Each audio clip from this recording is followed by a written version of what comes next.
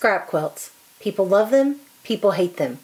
Which camp are you in? I propose that it's not that you hate scrap quilts or scrap quilting, but perhaps that you don't yet know how to maximize the full potential of the scrap quilt.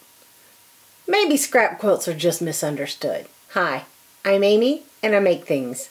And in today's video, I work to win you over to the scrappy side. Hang around, let's see what happens.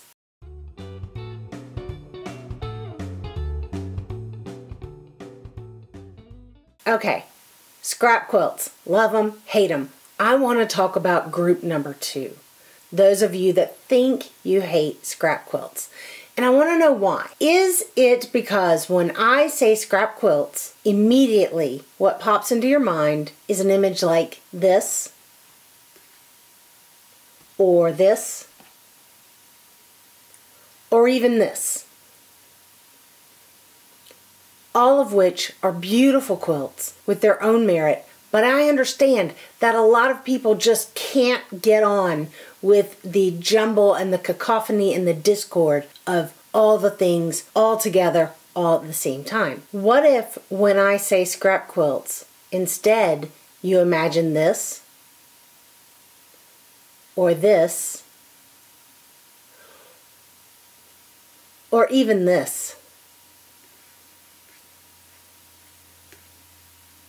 These are all scrap quilts, but they're very different from one another. There are many ways to get a planned and unified look while using scraps. Today, I'm sharing just four simple methods or formulas to get you started. Method number one, and the easiest place to start, use a unified background. A disparate group of scraps, a mishmash, a jumble of colors, can be pulled together and toned down by using a unified background or sashing color. Many people default to black or white. They think, oh, black or white, it'll go with everything. And that's true. It will also accentuate the differences in your fabrics. Think about when you want to make a color really stand out or pop you automatically want to put it against a really sharp contrast. And using black or white does that very effectively. So instead of defaulting to black or white, consider using something a little lower contrast. Navy blue, light gray,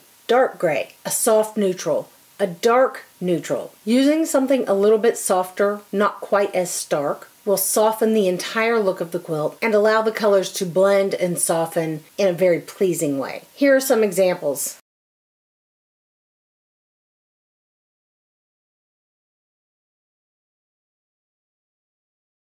In this case, we want the colors, instead of standing out, we want them to soften and blend naturally to become more cohesive. Using these less contrasting colors will soften and unify the disparate colors in your scraps while still giving you contrast and definition. A visually textured print like grunge or a linen look or a fine micro dot can enhance this effect even more. It will blur the edges of your piecing such that your colors blend into one another more easily. Once you're confident with the unifying background method, you can branch out and make even the unifying background color scrappy. You can baby step with low volumes, as in my red and white quilt that you should be seeing now. And as you practice, you can get bolder and bolder. Method number two, and this requires a little more confidence in both yourself and in the process. And it's what I call use more, use more. I know I always tell you that I sort everything by color. That's the way my brain works. But this, this is where sorting by color shines. Sorting by color makes it easy for you to grab what you need and allows you to search by the initial visual impact or read of a fabric without regard to the boundaries of designer or fabric collection or style of print. Use more, use more is two parts. Part one, more shades, more prints. If you're making a red, or a red neutral quilt. Instead of using two or three reds, use 20 or 30 reds. Use as many as you have, as many as you can find. Using more prints, more fabrics will prevent any one fabric from standing out too much and will allow the quilt, the overall look to read as just red. Take a look as I play with some scraps for just a minute. If you put these two fabrics together, you might automatically think, oh, no, those don't go.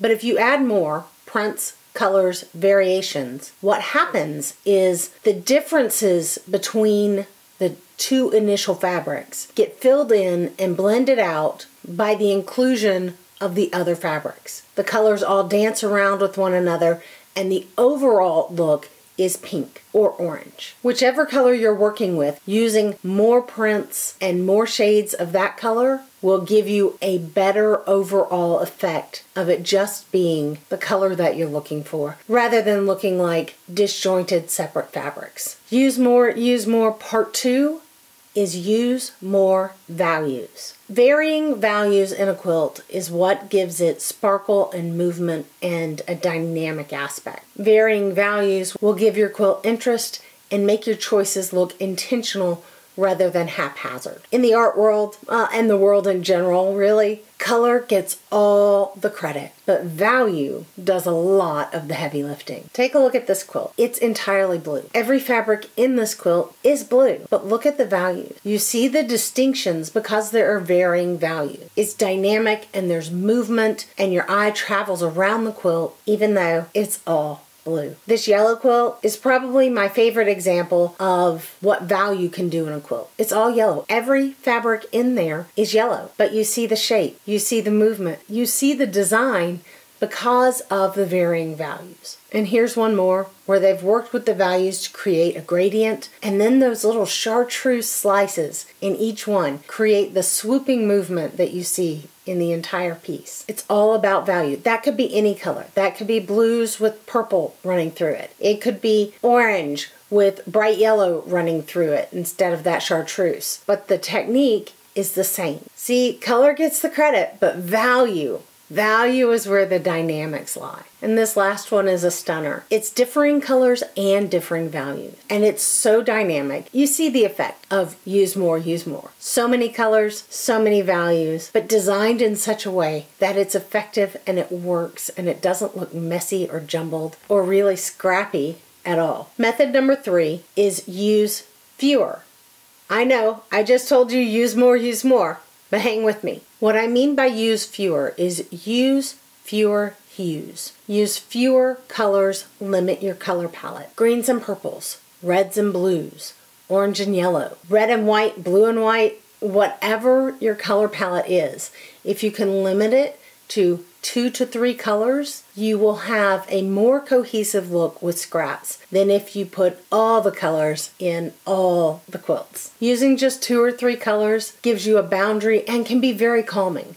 I get a lot of compliments and remarks about the purple and green quilt behind me. And the reason this quilt is so effective is because while there are 100 plus different greens and 100 plus different purples in that quilt, it's still just a green and purple quilt. All the values are mixed together so that there's a lot of movement, but the colors are separated and they're separated by that red in the center, which I absolutely love. Red is a neutral, Thank you, Freddy Moran. When you look at it visually, it's a purple and green quilt. But then when you really look at it, you see that there are dozens and dozens of different fabrics and different values within the quilt, and that makes it interesting. Here are some more samples of two color quilts or two to three color quilts. This one with the blue and the orange. Blue and orange are complements, so it's going to be very vibrant. This one combines the unifying background with the use more prints, use more values, but it also limits the color palette to just that hot pink, bright lime green, and gray. Here's a classic, blue and yellow, varying values, varying prints and patterns, limited color palette. Now method number four. Method number four can stand alone or be combined with any of the above methods or formulas. Method number four is cut it smaller. Bonnie Hunter is famous for saying, if it's still ugly, cut it smaller. Scrap quilts really shine and look planned and unified when what you see first is color and value. You don't see individualized print first. The Tula Pink quilts with the huge pieces and the large scale prints are absolutely stunning. But what you see when you look at one of those quilts is that large graphic impact of the singular design. When you're working with a scrap quilt and trying to get a unified planned look, what you want to see is color or value. You don't want any one thing to stand out because that disrupts the flow and makes it obvious that one fabric is different from the others. I have a couple of examples here. This fabric is a Kaffe dot. It's beautiful. And if you use it in a big piece, it's going to look like this giant polka dot.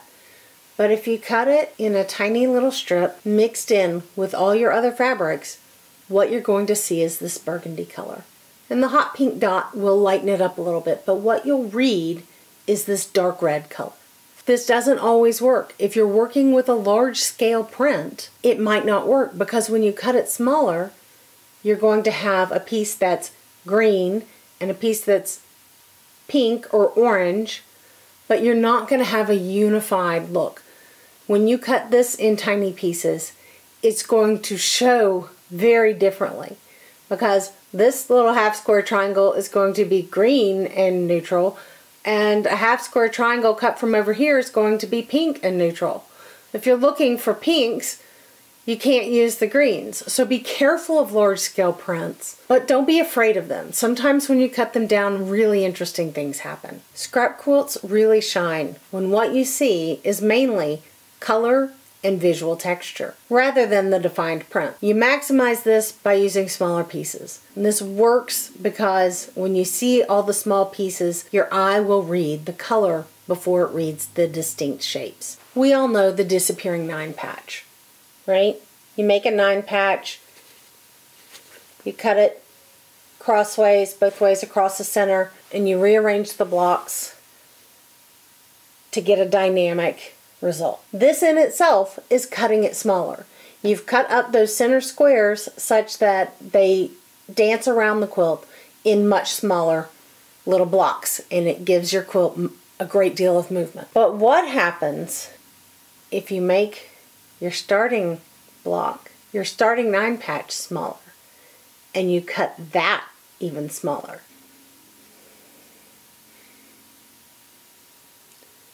More movement, less distinction. So you see that red and white dancing around the quilt, and you see the varying shades of blue and the varying values of blue rather than just seeing these individual blocks that may or may not look so great together.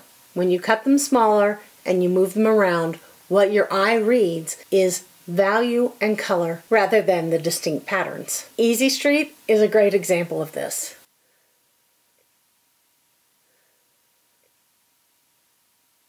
So let's recap. Method number one, a unifying background or sashing color. Don't just think black and white. A tonal print or a softer near solid can work wonders and be quite nuanced. Number two, use more, use more. More prints, more shades, more values equals more interest, more sparkle, and less disparity between your varying prints. Number three, use fewer. Use a limited color palette. Two to three colors is very calming while still leaving lots of room for creativity. And lastly, number four, cut it smaller. Smaller pieces allow the color and the value to be the dominant characteristics rather than the individual prints. It will keep them from contending and fighting with one another. I'm sure you've noticed from my samples and from what I've said that you can mix and match any of these scrap formulas to make the unified and planned beautiful quilt that you want to make. Have I made you a believer yet? Give one of these methods a try for yourself and let me know how it goes. You might be surprised and I really hope that you are. If you are already a lover of all things scrap,